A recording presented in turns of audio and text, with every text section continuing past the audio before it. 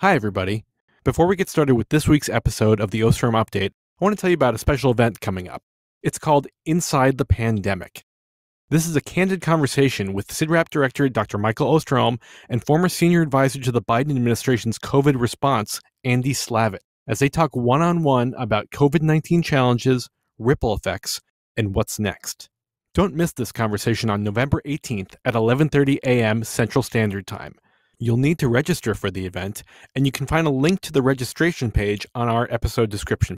And now to this week's episode of the Osterholm Update.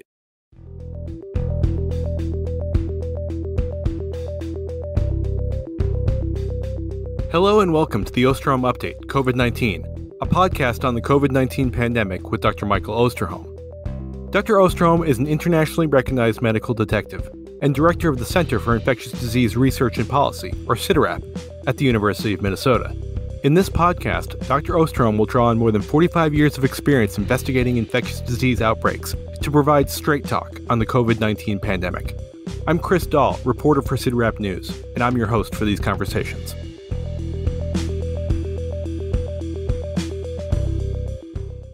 Welcome back, everyone, to another episode of the Osterholm Update podcast. As of Monday this week, the official global death toll from COVID 19 surpassed 5 million. Even though that number is likely a significant undercount, it's still stunning. As the New York Times pointed out, such a loss would wipe out almost the entire population of Melbourne, Australia, or most of the nation of Singapore. The Times went on to note that the pace of confirmed deaths, however, has slowed slightly since the world reached 4 million deaths in July, a sign that vaccines are having an impact, at least in some parts of the world. But a million people have died since July, and in many parts of the world, only a fraction of the population has received even one dose of vaccine. And even in more highly vaccinated countries, cases are rising once again as the Delta forest fire continues to find new wood to burn. And that seems to sum up where we are in the global battle against COVID 19. We're getting to a better place, slowly. Vaccines are helping to lessen the impact of COVID 19. But the virus is still having a devastating impact, and we need to get vaccines to more people around the world to truly get this pandemic under control. On this November 4th episode of the Osterholm Update, we'll assess where we are in this pandemic as we take a look at the international situation and what's going on here in the United States. We'll also discuss the evolving science on vaccine protection, breakthrough infections, and booster shots, answer a COVID query, and give you the latest on vaccines for young children.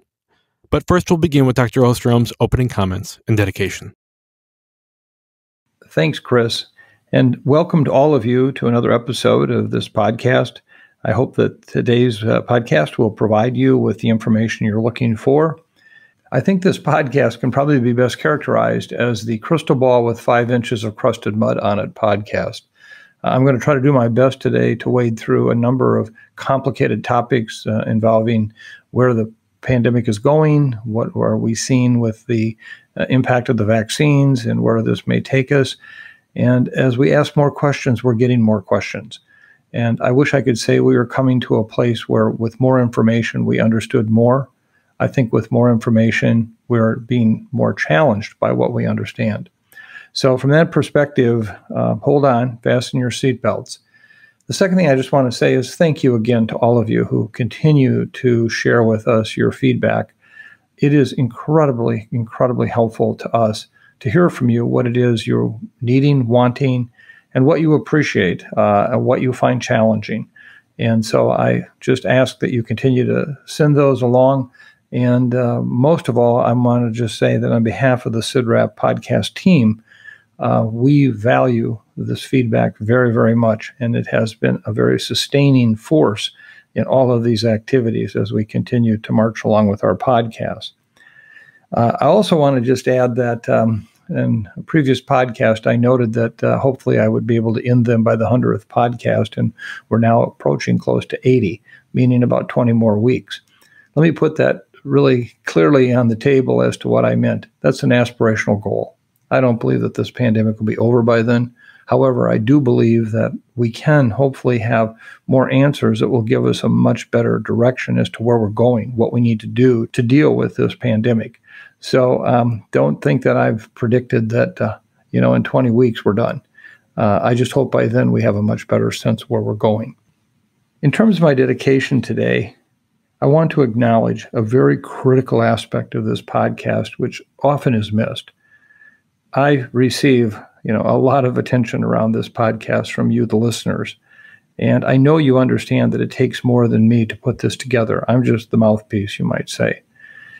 So today I dedicate this podcast to the CIDRAP podcast crew, starting right here, first and foremost, with Chris Dall, the, the moderator voice that also is so key in helping to frame the topics that we address.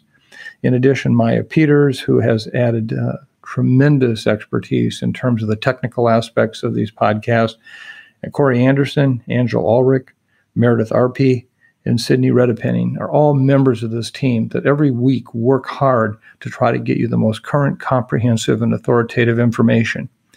If we don't do that, that's my fault. I haven't interpreted it as I should have and could have. It's not theirs. They've done an amazing job week after week preparing this information for your use. So I want to thank you so much uh, for all you do to make this possible. And I wish if I could, I would call it the Osterholm Dall Peters uh, Anderson Ulrich Arpe Redepenning podcast as opposed to the Osterholm podcast. So thank you.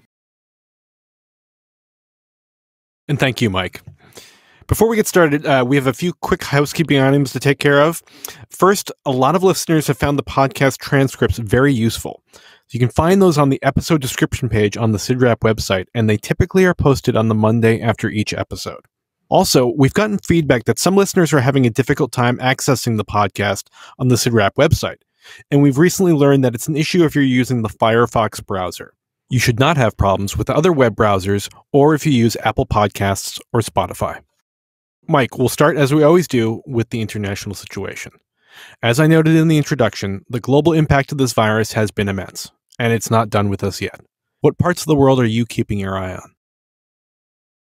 Well, Chris, before I get into the international piece, I wanted to start out by just acknowledging that grim milestone of 5 million confirmed deaths from COVID worldwide that you mentioned. It's a death toll so large that I think it's inherently difficult for us to fully comprehend what it means. I know it's a challenge for me. As I've said before, my job has always involved numbers. Frankly, since this podcast began, we've all kept our eyes on these numbers, which are constantly changing. For many of us, it's almost turned into a force of habit or a routine. What's happening with cases, hospitalizations, deaths? How does that compare to the previous time points? Over and over again, we use them in our search for clues or answers to a whole litany of questions. And unfortunately, this continuous cycle and repetition can make it all too easy to overlook the fact that each of these numbers represents a person. As I have said week after week, they are our loved ones friends, family, parents, grandparents, sisters, brothers, aunts, uncles, cousins, children. The list goes on. I know I've said this before, but I really hope we never, ever, ever forget that. Just think of this, and I do often.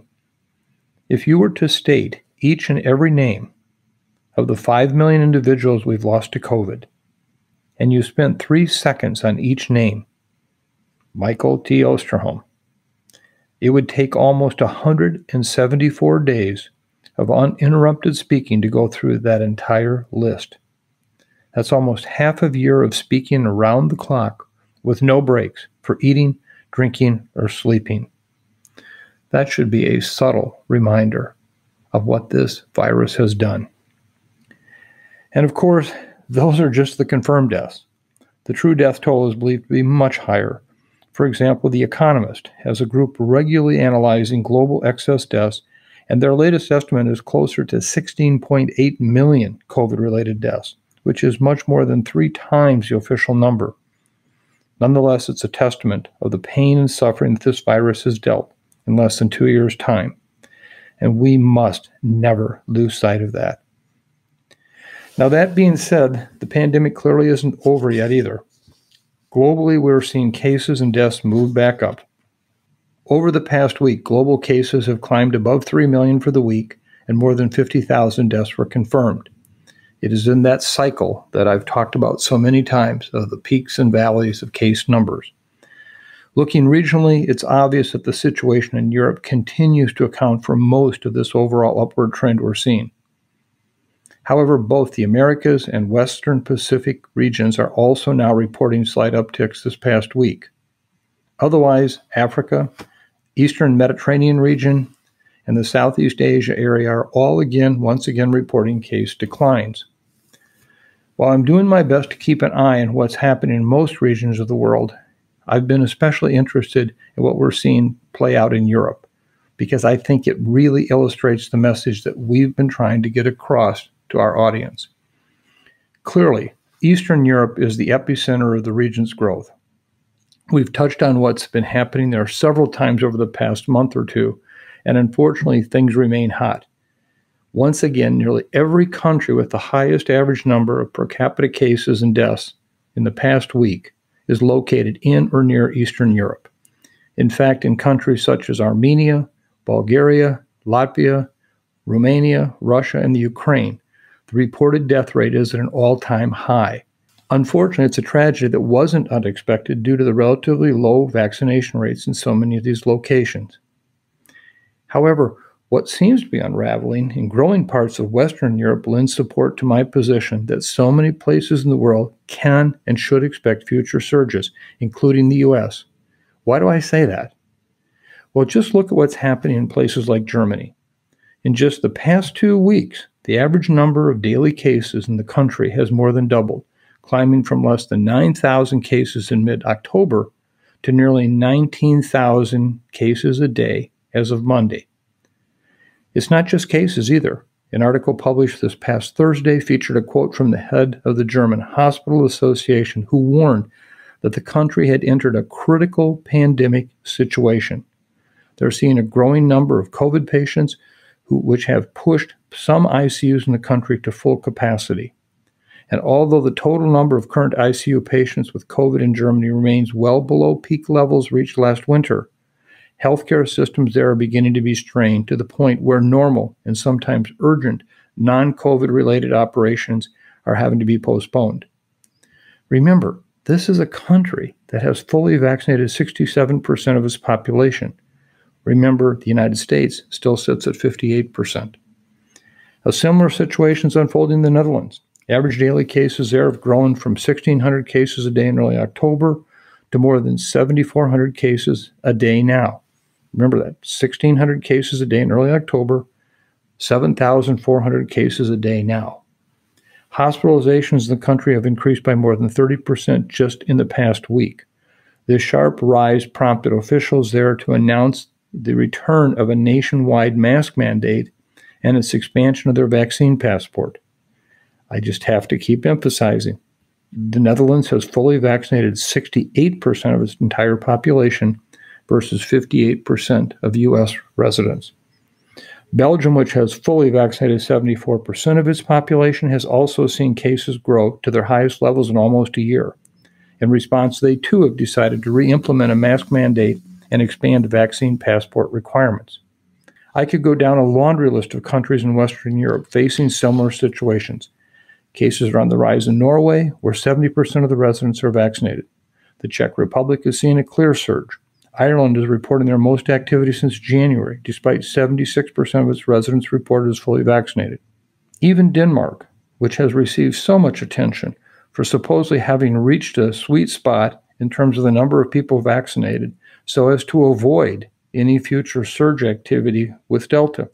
They have also vaccinated 76% of their entire population, and yet they're seeing a clear rise with cases at their highest level since last December and hospitalizations now reaching their highest total since February.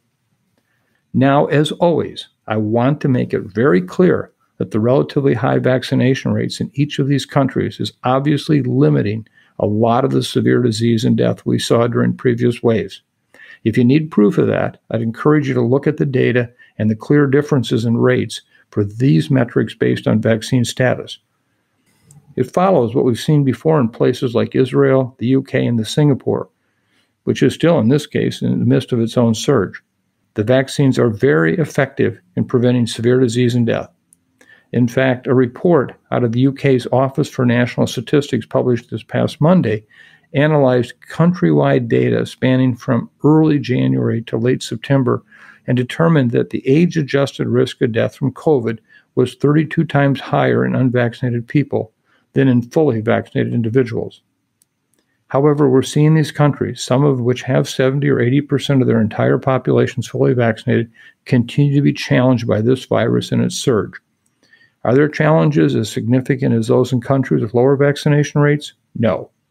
But their paths out of the pandemic haven't been simple, smooth sailing. And it's a reminder to the rest of the world that any relief felt from the virus at this point shouldn't be misinterpreted as ultimate victory. If surges can happen in places like Singapore, Germany, and Denmark, why wouldn't we expect to see them in places like Africa, Latin America, and even the US, all areas with substantially lower number of people vaccinated? I want to discuss one last country as it relates to what's happening in the global picture because I think it represents a challenge to the entire world's economy. China has continued to be the only country in the world that is maintaining a zero COVID policy. They believe that they can, with their very extensive public health response activities, some would call draconian, be able to contain this virus to a zero level. Right now, more provinces in China are dealing with COVID 19 than at any time since this virus first emerged in Wuhan in 2019. Despite the increasing aggressive measures the Chinese officials have taken, the Delta virus continues to flare up and expand its reach. More than 600 locally transmitted infections have been found in 19 of 31 provinces in this latest outbreak. That may seem like a small number, but when you see the kind of steps that have been taken to respond to it, you understand what the Chinese are actually trying to accomplish. They are committed to maintaining a so called COVID zero approach, even though these flare ups are coming faster, spreading further, and evading many of the measures that previously controlled the virus. The dramatic responses needed to respond to this are having a fundamental impact on the everyday lives of all of China. The question will remain can they continue to deal with these flare ups as they are in such a way as to not halt the everyday business of China? China's Ministry of Commerce urged residents Tuesday to stock up on necessities for the fall and winter to be prepared for future outbreaks that could trigger snap and, in some cases, massive lockdowns. Let me give you an example of some of the things that China has recently done. On Sunday, more than 30,000 people were held in quarantine and tested at the Shanghai Disneyland after a single visitor inside the park was found to be infected. They held these people until well past midnight before they were able to release them as they were all tested. They are doing the same kind of thing with their ports. We're seeing that in cities with transportation. We're seeing that in the schools. I raise this issue because the business community is starting to pay attention. I've had more media recently from the business community ask me about COVID than from the public health or general news side of the house. And what they're asking about how will this ongoing transmission of the virus in China likely affect what will happen to everyday Chinese life? And I think the Chinese are going to be very challenged to keep much of their operating activity going on, manufacturing, all the things that they've been doing to supply the world with their global supply chains. Watch this one. This is going to be an interesting study. And at this point, I think that the Chinese are not going to be able to continue doing this. They're too going to have to accept a non zero COVID policy, or they will shut themselves down. And the world will know a much more challenged economy and business response to this pandemic. Well, let me just conclude from an international perspective in terms of where we're at, what we're doing, and saying that I welcome any relief we can manage to get from this virus. But I think it would be a mistake right now to take a, the international picture and assume that that supports that, in fact, many countries around the world are invulnerable to this virus. The lack of activity we see in Africa, parts of the Americas, parts of Asia is not, we're done. It's until it arrives. And we're going to continue to see this, and we have to understand that. And I hope that the European experience I just talked about is clear and compelling in the fact that in areas of the world much better prepared to deal with this virus from a population based vaccination standpoint are still having major, major challenges. Here in the United States, the decline we've been seeing from the peak of the Delta surge seems to have leveled off nationally at around 73,000, 74,000 new cases a day, while deaths and hospitalizations are still declining. So, Mike, is this our new baseline? And as more people get vaccinated, will daily cases become less of a meaningful metric? Well, Chris, first of all, let me start off with my customary and somewhat unsatisfying disclaimer. While I'm confident there are a lot of people in this country still vulnerable to this virus, I don't really know where we will find ourselves in the coming weeks. That crusted mud is getting harder and harder to scrape off that crystal ball. The initial pattern we were seeing play out in countries hit by Delta, with that dramatic surge followed by a precipitous drop, has seemed to hold true in some places, including India, Iran, and Indonesia. But it also has materialized in a number of other countries. In certain instances, the initial drop is being interrupted by this apparent plateau, which we're now seeing signs of here in the US. South Africa saw a similar phenomenon, with their plateau lasting for nearly a month before then additional declines brought them back to pre Delta levels. On the other hand, countries like Russia and the UK had case surges back up again after experiencing relatively short term plateaus. So I'm not sure there's an exact model we can really use to predict what's going to happen. I certainly hope we will see eventual declines like in South Africa or India, but we could also just as easily head in the other direction. And let me just emphasize again anyone who comes out with modeling that's more than 30 days out from today is basing that on pixie dust. And as I'll point out in a moment, I'll give you examples of where just four weeks ago, no model could pick up the kind of activity that we're actually witnessing today. Overall, as you mentioned, average daily case in this country stood at about 74,000. That's well below where we were at the height of the Delta surge, but it's still six times higher than the level reported in late June. As expected with the drop in cases, we've also seen hospitalizations fall from nearly 104,000 to around 47,000 and average daily deaths have dipped from more than 2,000 to 1,300 deaths a day. Again, real and welcome declines, but they're still sitting at levels well above where we were pre Delta. So, if this does end up becoming our new baseline, it's not a good omen. Even if we take a look at what's happening at regional or statewide levels, it's hard to decipher where we're headed. While we're seeing persistent declines in many of the southern Sunbelt states that were just red hot a couple of months ago, some states in the West, Midwest, and Northeast are ticking upwards. For example, if you look at cases reported over the last week, as reported in the Washington Post, there are 24 states reporting increasing cases and 27 states reporting declines. Some recent hotspots, like Alaska, Idaho, Montana, and Wyoming are reporting declines, but overall activity there still remains high. Let me just help paint this picture of the confusion around what's happening in this country. Today, the overall national rate of cases in this country is about 22 per 100,000 population. If you look at what's happened over the past two weeks, there's been an 8% decrease in cases. However, if you look at the last seven days, that's almost been a zero decrease. It appears to be clearly plateauing. Alaska, which is at 82 cases per 100,000, almost four times higher than the national average, has seen a 30% reduction in cases over these past two weeks. But now we're seeing something emerge in the Four Corners area we had not seen before. Arizona is at 45 cases per 100,000, twice the national average, and that is a 50% increase over the past two weeks. New Mexico is at 45 cases per 100,000, a 38% increase in the last two weeks. Colorado is at 51 cases per 100,000, a 23% increase in cases.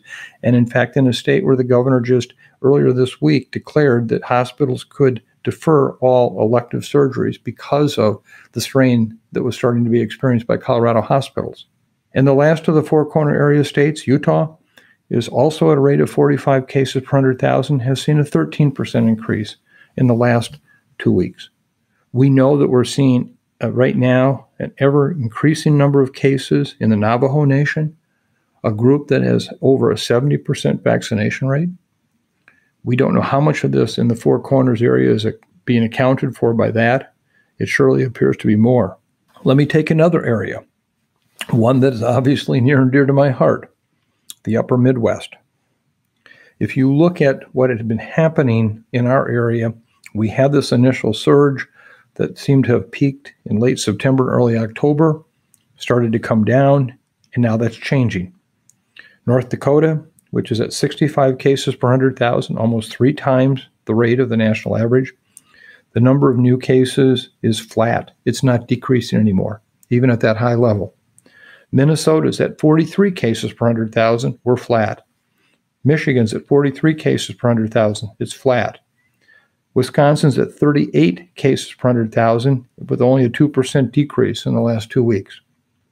Iowa is at 35 cases per 100,000, but a 14% increase in the last two weeks. And finally, Nebraska is also at 35 per 100,000 with a 17% increase the past two weeks. What's happening here? This is bucking the national trend. We don't know. So I have to say, we seem to have found ourselves in a holding pattern and the overall U.S. trajectory will depend on what plays out in some of these pockets of smoldering activity that are scattered around a number of different regions of the country. I hear people all the time wanting to talk about national numbers. We can't do that here because of the, what we're seeing is truly emerging differences by region.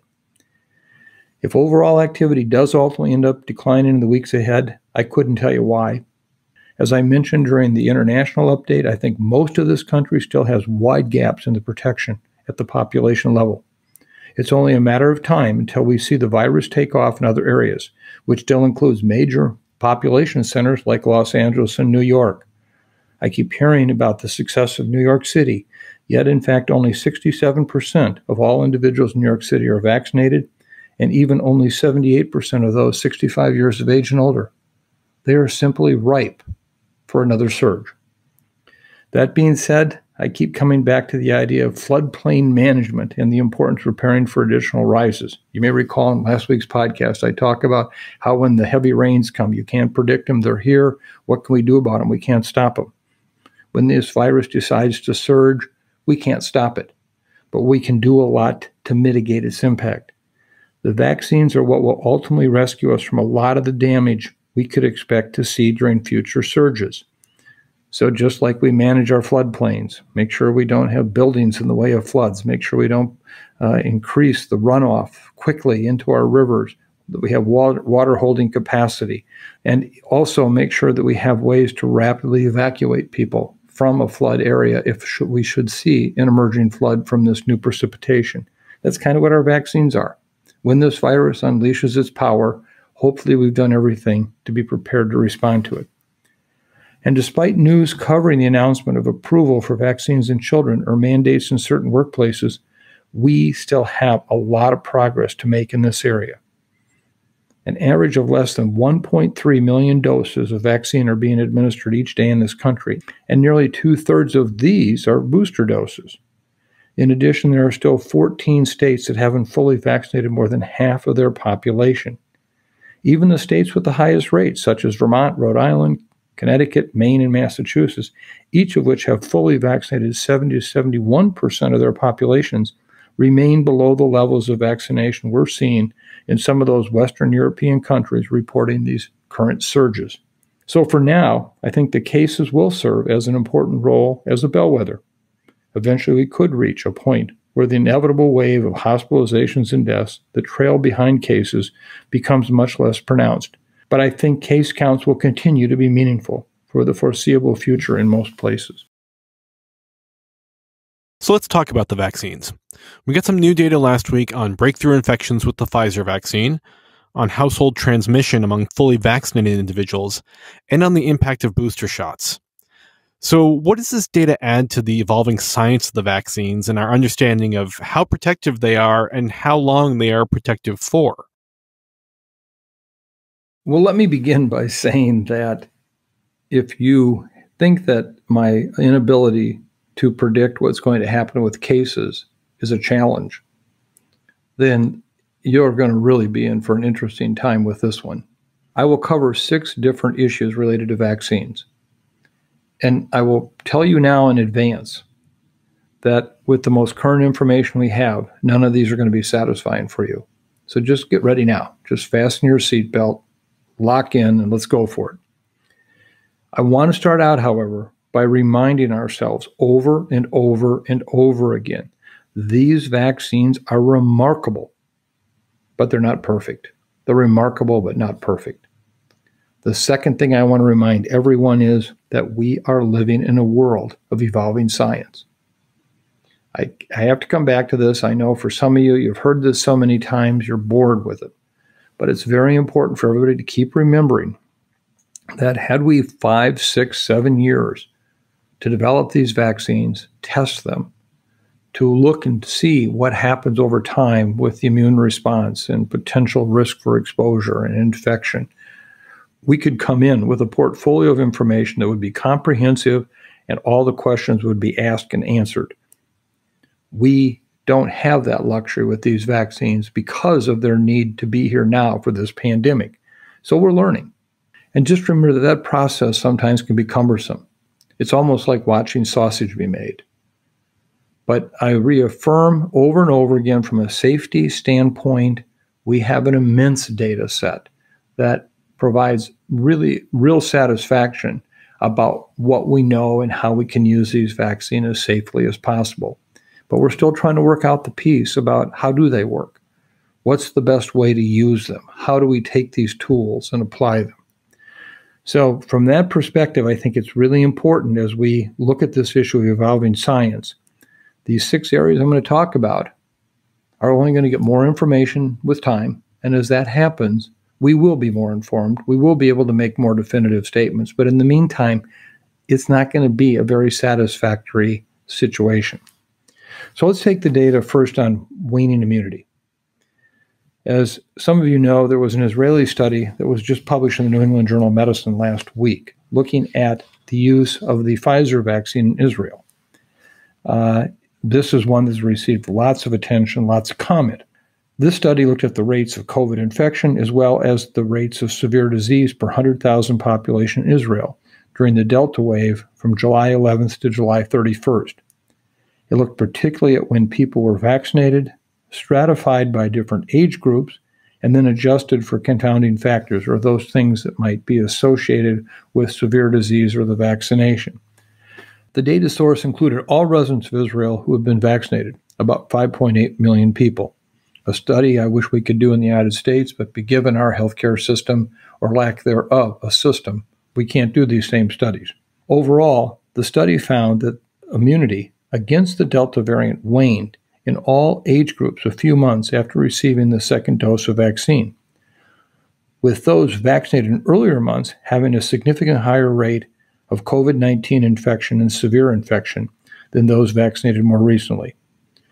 This study concluded that protection against severe COVID for those aged 60 and over, about 1.3 million people, was markedly reduced for those vaccinated six months earlier compared to those vaccinated more recently. These data just support the sense that yes, we do have a challenge with waning immunity. And as we look today to deliver these boosters, it's going to be unclear who will all need them. Will it be everyone? Will it be those only with certain underlying health conditions? And why will we give boosters? Is it to eliminate severe illness? Is it to eliminate hospitalizations? Is it to eliminate even mild infections? And I think to me, the picture is becoming increasingly clear that over time, the further you get out from having had that last dose, regardless of your underlying health condition, we are going to see an increased incidence of disease and likely severe disease. So I think the challenge we have in our hands is what does this mean overall with waning immunity? I know there are still critics who think that this is a luxury to give the third dose of mRNA vaccines or second dose of J&J vaccine given the world condition for lack of vaccine. I have, will repeat again, I still believe that in fact these are always meant to be three or two dose vaccines. And at the very least, that will be the same we'll want the whole world to be able to have access to. The bigger question for me will be what happens six months from now? Will we need a booster again? If we do, how will we do that? How will we make vaccine available to the world? We're still having problems getting people getting their booster doses now for this round of vaccination. So stay tuned. This one, I think, is a potential Achilles heel in this entire vaccine situation.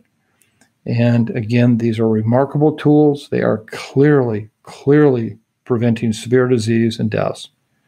But they are going to be challenged by the waning immunity.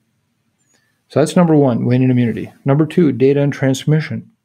A study reported this past week in The Lancet compared COVID transmission of the Delta variant among people with and without prior vaccination in 162 people with mild symptomatic infections. The study looked at viral load trajectories and the risk of transmission as measured by the secondary attack rate among household contacts, in other words, by vaccination status. The peak viral load was similar for unvaccinated and vaccinated cases, but there was faster clearance in the vaccinated group versus the unvaccinated group. All breakthrough cases were mild, that's important to note, but the study also highlighted that the vaccine effect on reducing transmission is limited in the context of the Delta variant circulation. What I mean by that is the study found that vaccination reduced transmission to household contacts but did not eliminate it. The secondary attack rate among unvaccinated household contacts was 38%, compared to the secondary attack rate among vaccinated household contacts at 25%. So, being vaccinated surely did reduce your risk of becoming infected in that household setting. If you look at the secondary attack rate among household contacts exposed to fully vaccinated cases, it was actually similar to the household contacts exposed to unvaccinated cases, meaning that in the end, even if you could reduce transmission, if you look at those secondary attack rates in individuals, they still had the same rate, whether they were vaccinated or not. And what this points out, I believe, is that there surely is likely less exposure to the virus from a vaccinated person than an unvaccinated person. But does that exposure basically over time kind of get wiped out if you're in a household setting and you have the time and dose issue? So it's not a 15 minute exposure, it's a five day exposure. Does that even out? In summary, this paper found that vaccination reduces the risk of Delta variant infection and accelerates viral clearance, meaning people are less likely to get infected and are infectious for a short period of time, but may be similarly likely to transmit to household contacts regardless of the vaccination status of the infected person. The study also notes an important observation in the discussion. When looking at positive versus negative fully vaccinated contacts, there was a marked difference in the time interval between vaccination and the study recruitment. This suggests that there is an increase in susceptibility after vaccination, which the authors suggest may occur as soon as two to three months following vaccination. Again, another comment on waning immunity. And what does that mean? The third area that I want to cover relates to data on efficacy in immune competent versus immune compromised adults. This has been a critical issue from day one for me, trying to parse out recommendations as to what someone might have to be concerned about if they do become infected, what might be their likely outcome, and how do you then proportion your risk behavior based on that particular piece of information. This is an article that was published on Tuesday in the CDC's MMWR and it provided data on the effectiveness of the mRNA vaccines against COVID 19 hospitalization in immunocompetent and immune compromised adults. The data showed that the mRNA vaccines had a significantly higher rate of effectiveness protecting against COVID 19 associated hospitalizations for immunocompetent adults, people with normal immune systems. It was at 90%. And it was compared to only 77% for those who were immune compromised. The study also found that why patients are immune compromised was also very important in how well they responded. For example, the vaccine effectiveness varied across immunocompromising condition subgroups, ranging, for example, from 59% for organ or stem cell transplant recipients to 81% for persons with rheumatologic or inflammatory disorders. Immune compromised persons benefit from mRNA vaccination, but are less protected from severe COVID outcomes than the immunocompetent persons. And vaccine effectiveness varies among immunocompromised subgroups. This is an important piece of information that we've all along assumed and had some indirect evidence as to the fact that it existed. But now, how do I advise someone who's had two or three doses of vaccine, or maybe even that fourth dose, as to what they need to do for their risk behavior response? Should they, in fact, continue to keep masking under all conditions? Are they at risk if they're exposed to their grandchildren who are not yet vaccinated, or for that matter, for any of one around them? Who should they be around? So, this is not all that satisfactory for many people who have these immune compromising conditions. I still recommend that these immune compromised individuals, particularly the organ transplants, the stem cell recipients, that they have to be extra careful about being in public places or in closed environments with anyone who potentially could be infected. This is a real challenge, and I regret that we don't have better information on this very issue. So, to just to summarize it, though, these data really emphasize the importance of third doses for immunocompromised people in order to better protect them against COVID 19 hospitalization. And as the CDC has recommended recently, I think is why these individuals should also consider that fourth dose. Now, uh, the fourth area I want to cover is data on booster dose effectiveness. So, do booster doses actually create some level of protection that wouldn't be otherwise available. Another study published in The Lancet, again from the United Kingdom. And this study compared 728,000 people who had received three shots of the Pfizer vaccine and compared it to more than 728,000 matched controls who had received only two doses of the Pfizer vaccine. They found with these booster doses that there was a 93% reduction in COVID hospitalizations and an 81% reduction in deaths among those that got the three doses versus the two. I will say, however, this study may have had some challenges from a study design standpoint, in that they only followed people up through, on average, 13 days after they received their dose of vaccine, but yet they were still able to show this big difference. What would it be like at four, five, and six months out? I don't know but it surely does demonstrate that these booster doses can be very effective of not only preventing disease, but serious disease. Notable 81% reduction in deaths. The fifth study I want to cover is the data on natural infection versus vaccination, a point of great debate and argument. Uh, this was another study published in the MMWR on October 29th. This study examined hospitalized patients 18 years of age and older who had had COVID 19 like illness and looked just at those whose previous infection or vaccination occurred at least three to six months earlier. They found that the adjusted odds or the risk of laboratory confirmed COVID 19 among unvaccinated adults with previous SARS CoV 2 infection were about 5.5 times higher than those who were fully vaccinated recipients with an mRNA vaccine who had had no previous documented infection. What this study really demonstrates is that yes, natural infection does produce immunity, which can be protective. But overall, vaccination is still the most important way to assure that protection. So, whether you've been previously infected, whether or not, get vaccinated. And that's an important finding. Finally, the last piece of information I want to cover is just data on breakthrough infections. Uh, we keep hearing a lot about this. I personally have had, unfortunately, far too many experiences in my personal life with breakthrough infections recently. And we do have to acknowledge they're still rare, but they're growing in number. If we look right here in Minnesota, As of November 1st, 3.2 million Minnesotans are fully vaccinated against COVID 19. Minnesota has 57,023 cases of breakthrough infection reported, 2,609 breakthrough hospitalizations, and 372 breakthrough deaths.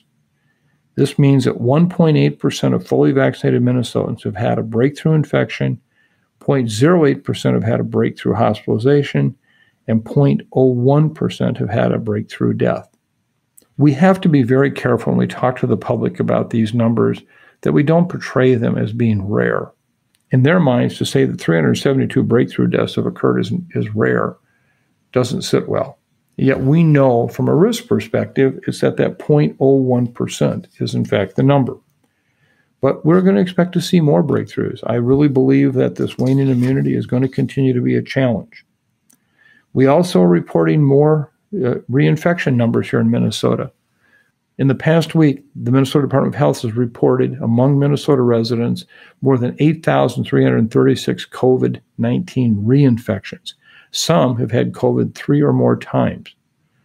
The daily confirmed reinfections have surpassed the peak from the previous spring now. It's not surprising given the fact that you see more people further out from their original vaccination dates. As of October 16th, Washington State has seen just over 60,000 breakthrough infections, up from over 50,000 October 2nd with 9% hospitalized and 568 deaths, up from 493. What these data from Washington and Minnesota are telling us is while breakthrough infections are possible, vaccines are remarkable at preventing infection and at preventing severe illness, hospitalizations, and deaths if you do have a breakthrough case. So I think it's really important that we continue to understand that, in fact, breakthrough infections will occur but they should not be misinterpreted as these vaccines are failing. It's the fact that we are paying a price for waning immunity, and this is how we're going to have to continue to learn how to best use these vaccinations. Let me just conclude this piece by saying that the Kaiser Family Foundation issued a recent report that talked about just how valuable these vaccines have been, even with all the potential flaws and rough spots I just talked about. Between June 16th, when the U.S. hit 600,000 deaths, and at a time when this most recent Delta surge really started going, there have been a, an additional 140,000 deaths. Their report, recently issued, estimated that approximately 90,000 deaths could have been prevented between June and September with this Delta surge if we had fully vaccinated our country. Think of that 90,000 deaths could have been prevented if we had just vaccinated everyone in our country. That's a sobering number. That's what I want you to remember about these vaccines. Remarkable tools, but not perfect. So we're going to continue to work on issues around immunity.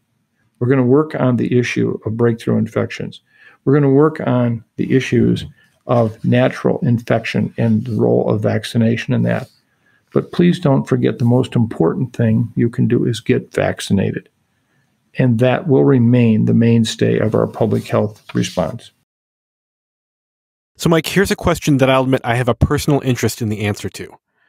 We have a lot of people right now who are fully vaccinated, are near or at six months past their second shot of the mRNA vaccine, aren't in the categories of individuals who are eligible for boosters, and don't know when they will be eligible.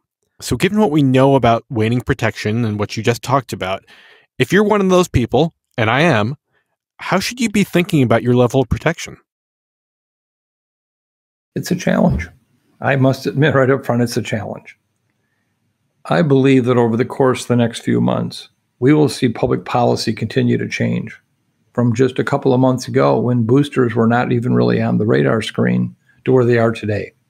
I'm convinced that within the next few months, we will see us moving towards a routine three dose mRNA vaccine and the J&J vaccine of a two dose vaccine. And I think it'll cut across all ages. I think that it's one we're going to find out that waning immunity is not unique to older people. It's not unique to people who are immune compromised. It's how we roll that out. And I think the rest of the world is going to do that. And I know we'll have our concerns and legitimate concerns about what are we doing to help supply vaccine for the rest of the world. But also, what are we doing if we see this waning immunity result in more and more infections, including severe illnesses, hospitalizations, and deaths? Stay tuned. I believe that booster doses are going to become more and more of a reality. What I'm continuing to look out towards, knowing that it is completely a black hole right now, is will there be more booster doses in the future? And what will that mean? How will we do that? Will we do that? And so this is one of those moments right now where I know less about our approach to preventing COVID 19 with vaccines than I did six months ago. And there are days I wish I was back six months ago where I was at then and could live in that bliss of ignorance of what now I know. And so we'll see. Um, we'll do everything we can to keep you updated here in this podcast as to what the current science tells us and what uh, we believe is your, in your best interest. So, as you noted earlier, on Tuesday, the CDC's Advisory Committee on Immunization Practices recommended the Pfizer vaccine for children ages 5 to 11, and CDC Director Rochelle Walensky quickly endorsed that recommendation. But the hard part, turning these vaccines into vaccinations, comes now. Now, let's first acknowledge that there are millions of parents and grandparents out there who are thrilled with this news. But we've already seen that vaccine uptake in adolescence hasn't been as robust as hoped. So, how much of a challenge is it going to be to get younger children vaccinated? Let me just make it very clear.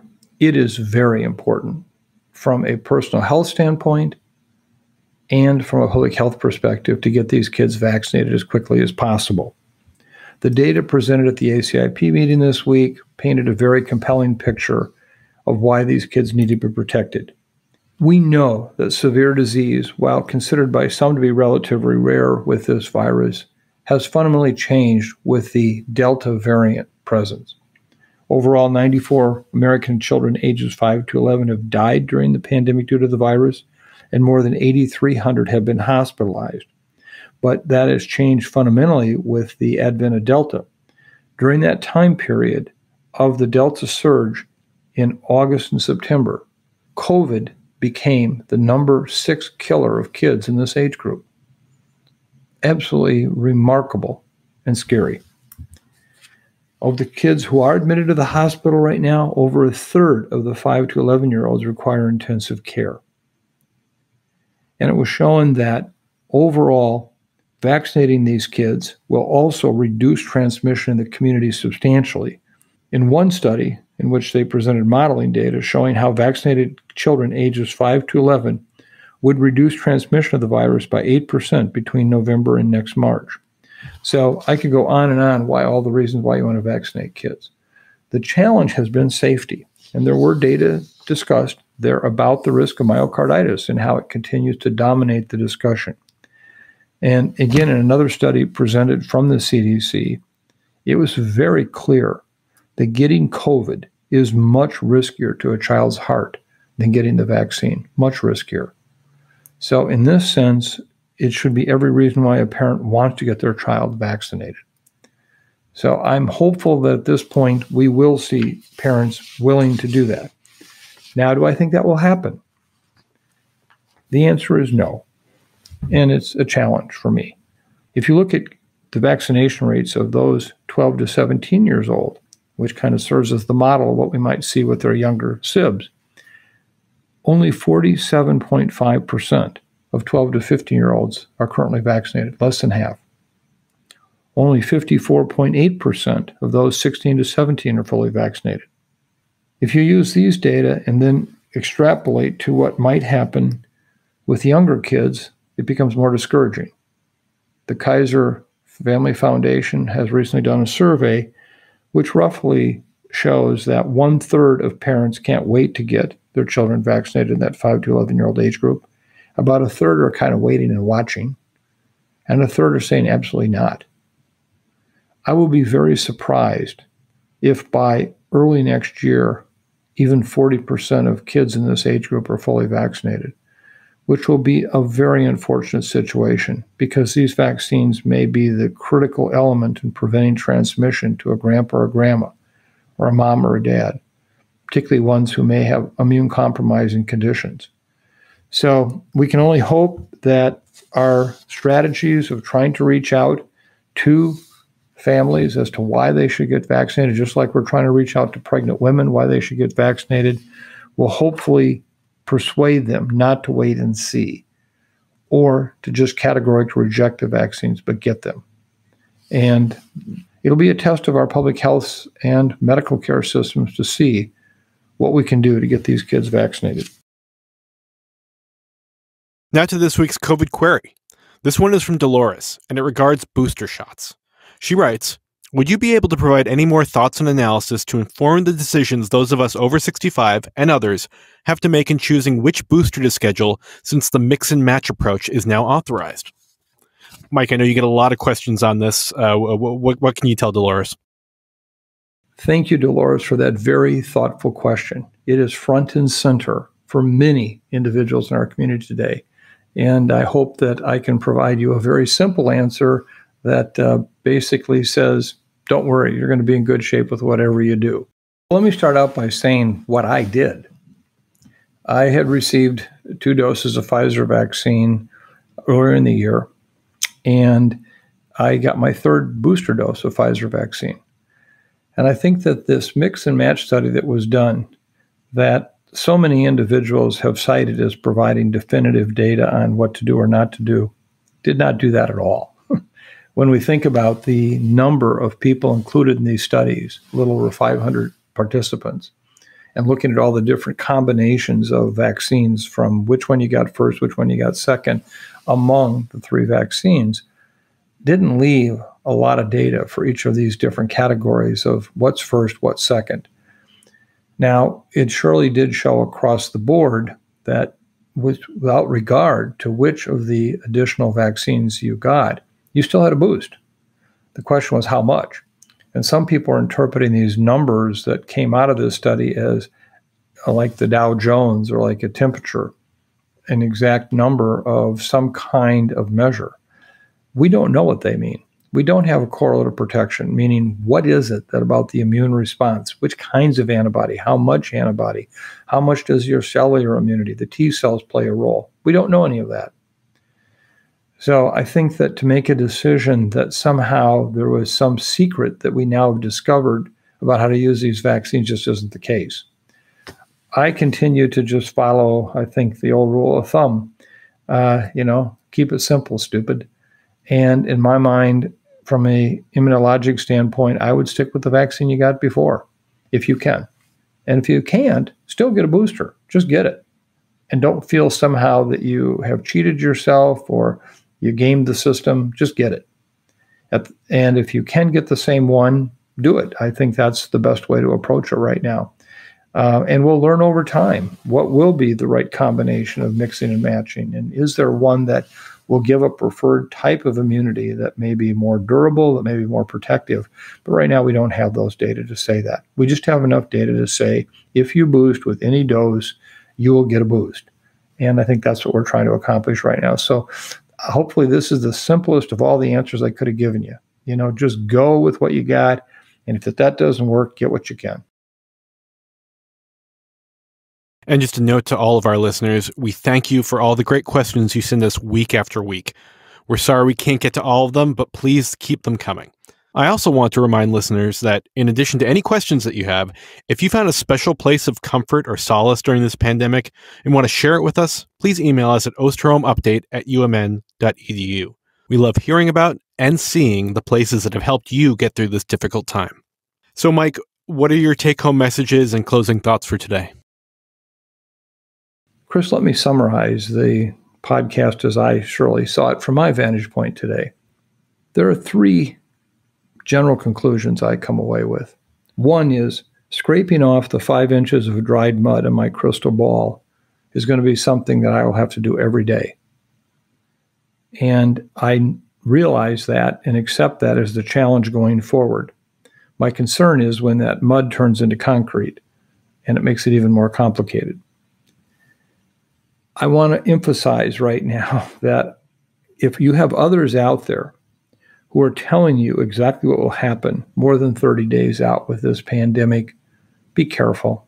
As I've said time and time again, they probably have a bridge to sell you. You know what? Not one of the models, not one of those prognosticators, including myself, would have told you four weeks ago that was about to happen in the Four Corners area. Based on our experience, what we saw in Europe as well as Asia, we might have said maybe the upper Midwest will be different than the South. Maybe the South will have their big surge and case numbers drop precipitously back to baseline. But you know what? That's not going to happen in the Midwest, or at least the northern Midwest, as I just shared with you today. Something's happening here where we're flattening out. We're more like what we've seen in the UK. We couldn't have predicted that. So I think it's very important that we understand that we will continue to observe this virus. We will continue to make every effort to give a sense of where we think it's going. But no, there's a tremendous amount of uncertainty.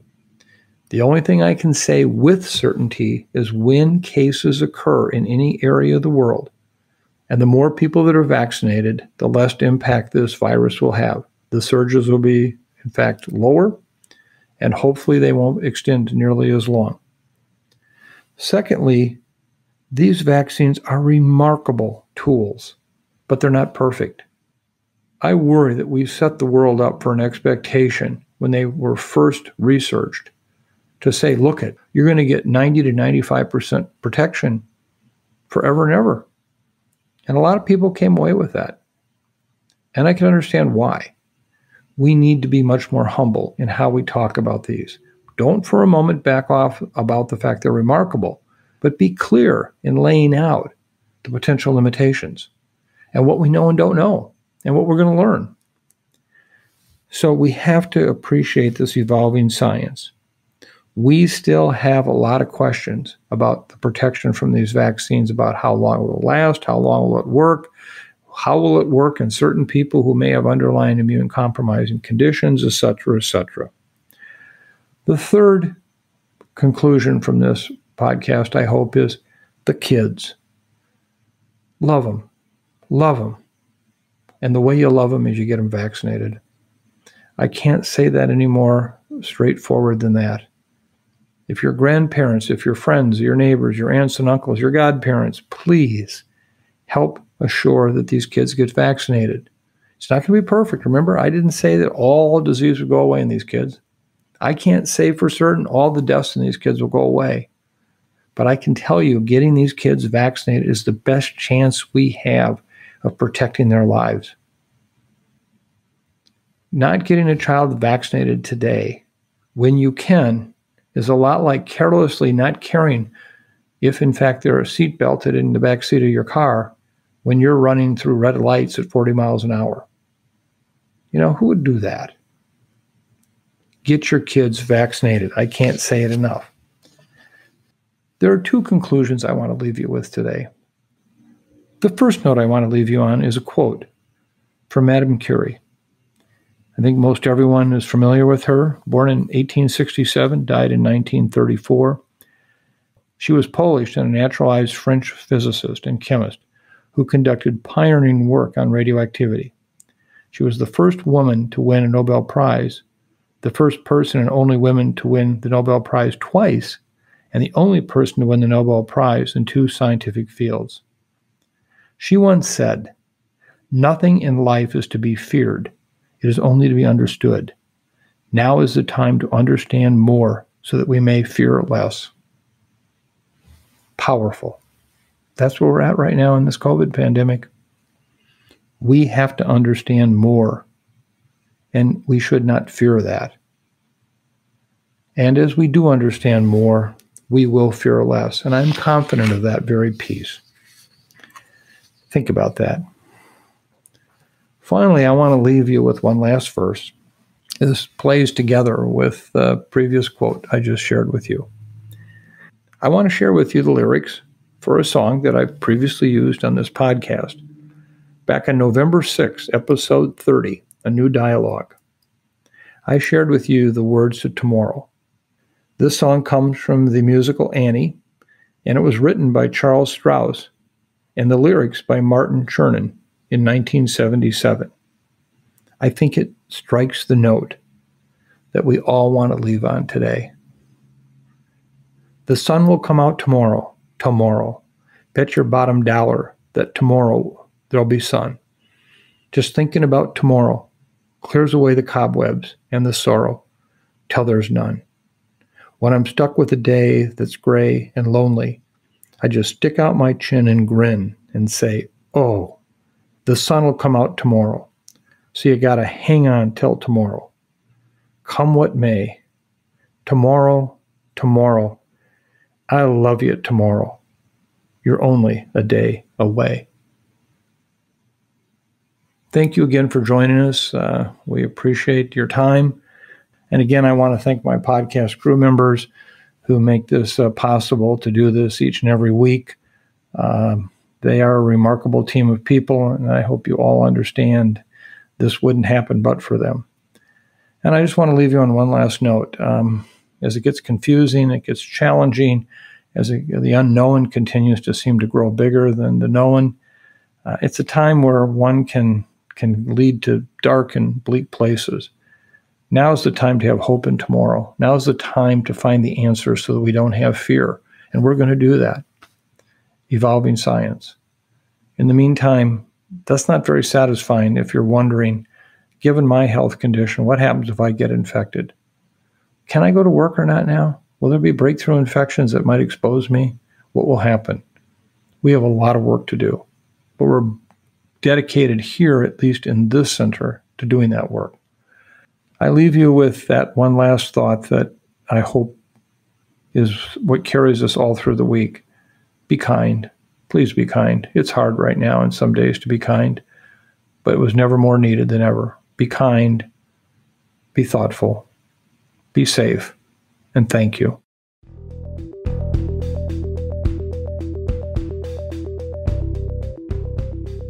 Thanks for listening to this week's episode of the Osterholm Update. If you're enjoying the podcast, please subscribe, rate, and review. And be sure to keep up with the latest COVID 19 news by visiting our website, cidrap.umn.edu. This podcast is supported in part by you, our listeners. If you would like to donate, please go to cidrap.umn.edu forward slash donate dash now.